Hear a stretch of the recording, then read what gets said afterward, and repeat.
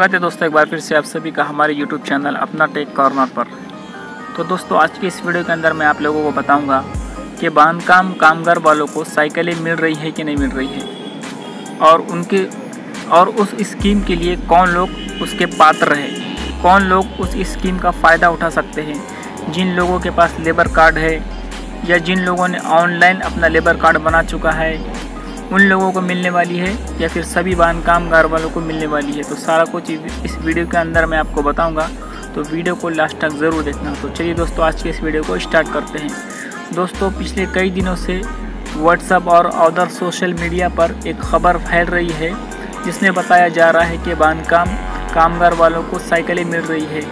मुझे भी व्हाट्सअप पर कई इमेजेस और कई लिंक्स आए कि आप इस लिंक पर क्लिक करके अपना फॉर्म भर सकते हैं।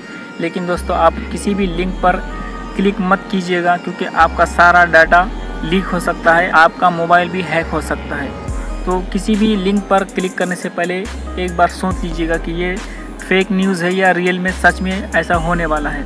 दोस्तों, ऐसी कोई स्कीम आई ही नहीं जिसके अंदर बताया गया है कि महाराष्ट्र बांधकाम कामगार वालों को साइकिलें मिल रही है। ये स्कीम दूसरे राज्यों में चालू है, जिसमें बांधकाम कामगार वालों को साइकिलें मिल रही हैं। अभी महाराष्ट्र में इस स्कीम का कोई भी घोषणा नहीं हुई। दोस्तों, इससे पहले एक स्कीम आई थी कि बांधकाम कामगार वालों को भांडे कूड़े मिलने वाली है, जिस पर मैंने एक वीडियो बना चुका हूँ। अगर आपने वो वीडियो नहीं देखा है तो लिंक आपको डिस्क्रिप्शन में दे दूँगा।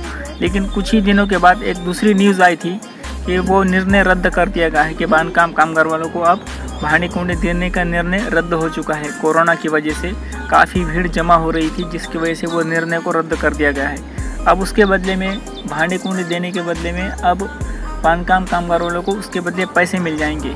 तो जो भी पैसे आपको मिलेंगे, जो भी अपडेट आएगा, मैं आपको बता दूँगा। जो साइकिलों का स्कीम्स के बारे में न्यूज़ चल रही है तो वो पूरी तरीके से फेक न्यूज़ है। दोस्तों, अगर आपके पास भी कोई ऐसा लिंक आए, जिस पर लिखा हो कि आप साइकिल का फॉर्म यहाँ से भर सकते हैं तो किसी भी लिंक पर आप क्लिक मत कीजिएगा दोस्तों। दोस्तों, अगर बाँध काम कामगारों की तरफ़ से कोई भी योजना आती है तो सबसे पहले आपका भाई आपको बता देगा कि कौन सी स्कीम आई है और कौन सी योजना आई है। तो दोस्तों, जो बांधकाम कामगार वालों को साइकिलें मिलने वाली थी, वो पूरी तरीके से फेक न्यूज़ है, इस पर कोई भी विश्वास मत कीजिएगा। तो दोस्तों, वीडियो आपको कैसे लगी, ज़रूर मुझे कमेंट करके बताइएगा।